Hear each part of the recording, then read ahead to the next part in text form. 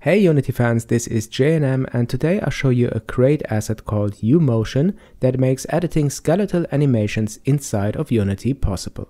I will demonstrate this by an example for my Unity low poly game kit. Currently my player does not play a pickup animation when he collects items. So I would create it with Blender or Maya and import it into Unity, but with UMotion you can do this directly in the Unity editor. I know this sounds awesome, so let's have a closer look here. I'm downloading UMotion Pro Animation Editor, and there's also a free version that you can check out as well. Both links are added to the description below. After downloading UMotion, there are two new windows available. The first one is the clip editor that looks like the Unity timeline for animations. And like any other editor window, you can dock it here as a tab. The other window is the pose editor that I open and dock here to the right side.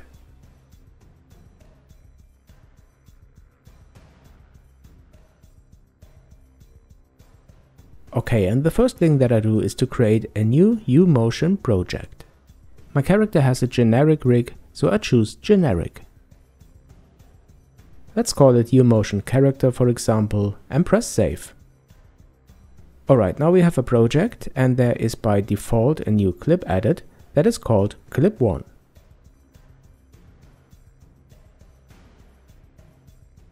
Then I open the properties and I will name this clip pickup. This will be the name of the animation we are going to create. Then I close this dialog and to start editing my pickup animation, I have to drag the character into the slot game object to animate of the pose editor. After I did this, the rig is detected and the configuration for this rig is created. And look at this what happened, I can see the bones of the character's armature and I will be able to use the Unity tools like move, scale and rotate to transform these bones. Here I'm using the rotate tool and the handling is really like you know it from other animation editors like Maya or Blender and you are able to create new animations for generic and humanoid rigs, but you can import and edit existing animations as well. And this is something that makes this asset really great in my opinion. Okay, let's go ahead and create our first keyframes on the first frame. So I select all the bones by pressing Ctrl and A. And after that, I press the return key. Then a dialog pops up. And here you can define if you want to add keyframes for scale, rotation or position or for all of these transformations and I choose all. You could also press the S key. Okay, now I press Ctrl C, move the slider to the frame that I want to be the last animation frame and press Ctrl V to paste it. And then I have an animation with the same start and end frame. Now I move the slider to position in the middle of the animation and here I will add a pose where the character is picking up something. First I will rotate the bones of the leg because the character has to kneel down.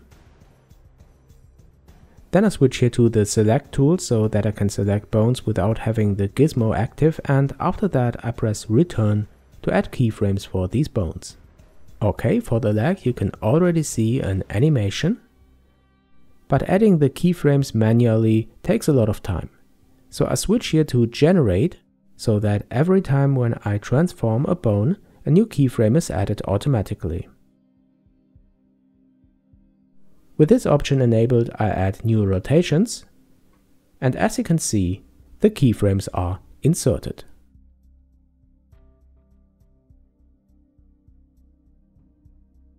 Now I want to have the same pose for the right leg. And UMotion has a nice feature to copy this. You just select the bones that you want to copy. And then in the pose editor you press the button copy to other side. And here we go, now I bring the character down by selecting the hips and then I use the move tool to move him downwards. The move tool you can select with the W key and the rotation tool with the E key. I rotate the bones now to let the character bend forward. After that I select and rotate the bones of the right arm to create a simple pickup pose. This pickup animation won't be, for the sake of this tutorial, too perfect, it is just to demonstrate how to create an animation and how to use it in your game. For the frames in which the character is a bit sunken into the ground I move him upwards to correct this, But in one of the next tutorials I will show you how to add inverse kinematics with UMotion that makes posing the character for animations like this much easier.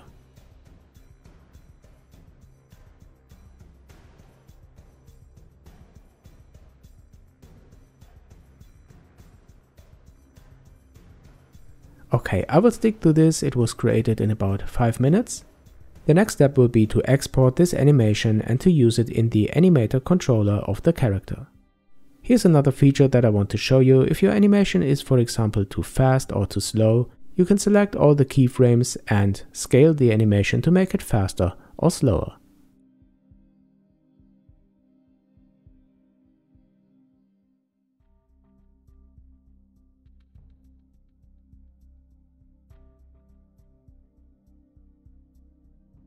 Okay, but I go back to the original scale, it was just fine.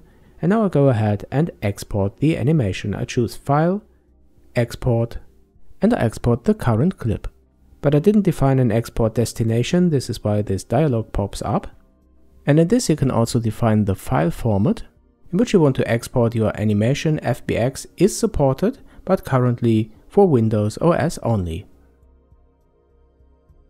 For the destination I created an animasset folder to that I browse here. After that I close this dialog and export again.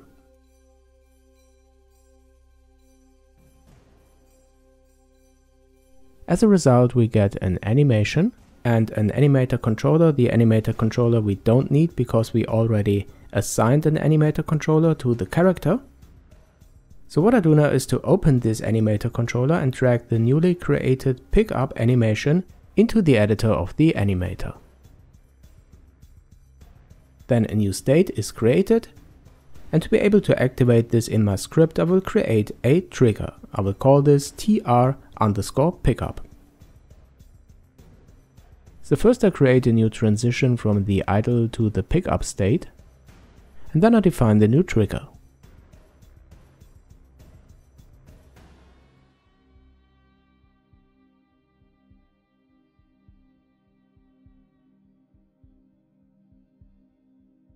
The trigger I use as condition for the transition from idle to pickup state, and after the pickup animation is finished I return to the idle state.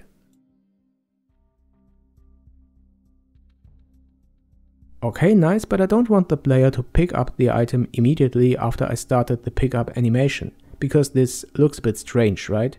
I want the collected item to disappear at about this frame here.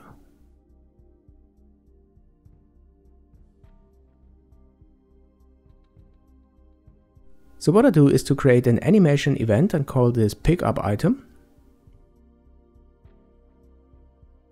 And this can also be done directly here in the clip editor of UMotion. Usually after you added this, a warning appears that the function you just defined couldn't be found in your code.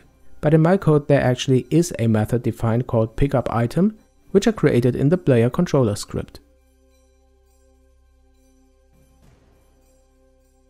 You remember when the player is near an item, you can press the F key to collect it, and then this method is called, you can see this here in the script. But I will remove it now and just activate the trigger. Why? Well, when I do this, the animation is played, then the animation event is fired, and my pickup item method is called at the right time, because it is invoked by the animation event.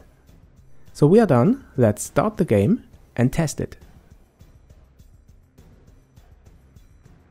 Okay, I'm near the item, I press F, the pickup animation is played, the X is collected and added to the inventory. So as you can see, you can create new animations really fast for your characters with the UMotion asset. It also works for humanoid animations, this is awesome and I think I will use it pretty often. So guys, I hope you liked this asset and this tutorial, and if you like my channel then please don't forget to subscribe. If you want to support me, please think about being my patron, this would really help this channel grow. Thank you guys for watching, and see you in the next one.